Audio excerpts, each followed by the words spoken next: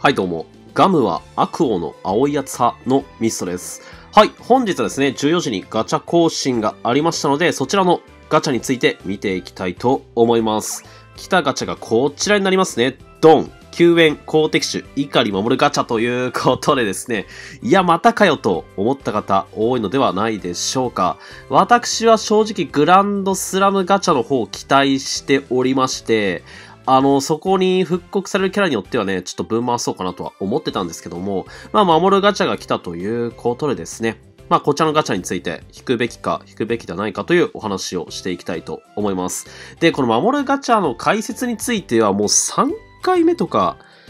下手したら4回目とかだと思いますので、今回の動画は手短に行きたいなというふうに思ってますので、よろしくお願いいたします。ではですね、結論から申し上げますと、こちらの公敵種怒り守るガチャは、母体をお持ちない方は SR は必ずゲットしましょうという感じですね。はい。まあ、あの、前回の動画、前々回の動画、前々前回の動画とか、まあちょっと あの、重複するとは思うんですけども、この守る、公敵種怒り守るというキャラは、現状このパワープロアプリの投資キャラにおいて、唯一無二の急速上限キャラとなっております。はい。で、その急速上限を突破させるだけで、査定がなんとですね、576も付与されるということで、まあ、これはね、えー先日、当初の金徳の査定の動画等を出しましたけども、約それのね、3つ分くらいの価値があるというところで、必ず編成して急速上限は突破させたいっていうのが今のパワープロアプリの投手環境となっております。急速、コントロール、スタミナ、この3上限を全て突破した上で、金徳をいかに詰めるか、その中で二次徳にいかに消化できるか、というのが今の環境ですので、この守るは SR では絶対にゲットしておきたいキャラとなっております。で、ガチャ内容を見ていくんですけども、このガチャ内容がね、毎回かなり渋い内容となっております。えー初回がパーソン30個で PR 以上の怒り守る。で、2回目がパーソン40個で SR 以上の指キャラが1枚出現。で、3回目も、ここからですね、パーソン50個で SR 以上の指キャラが1枚出現。で、4回目、ようやく SR 以上の公敵種怒り物が1枚出現。で、5回目、ここで SR 以上の指キャラが必ず1枚出現。で、6回目、PSR の指キャラが必ず1枚出現。はい。7回目以降は、まあ、いつもの渋い感じですね。というところで、えっと、必ずしも、守るの PSR はゲットできないと。ただ、4回目では確実にゲットできるという内容となってます。で、出現割合、まあ、ここが大事なんですが、はい。えー、23.27%ということで、まあ、いつも通り渋い数字ですね。というところで、あの、確定分までで引ける可能性っていうのも、まあ、そこまで高くないですし、まあ、PSR のところね、ここ、あの、期待をね、込めて引かれても、PSR の守りが出る確率は4分の1以下というところで、まあ、ちょっと渋い内容となってるんですけども、せめて SR は、お持ちない方は絶対に持っておいてください。はい。で、SR でもいいのっていうお話なんですけども、SR でも運用は全然できますと。はい。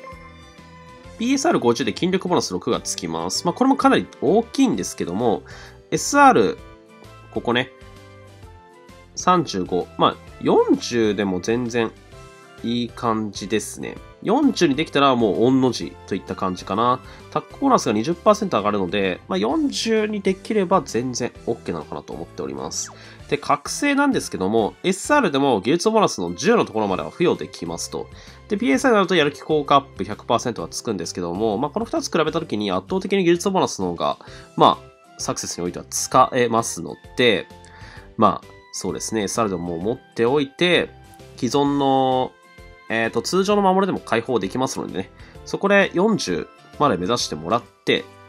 で、覚醒をして技術ボーナスをつける。まあ、これで全然使えますので、そこまではね、ぜひやってほしいななんて思っております。はい。まあ、PSR もね、50にならないと、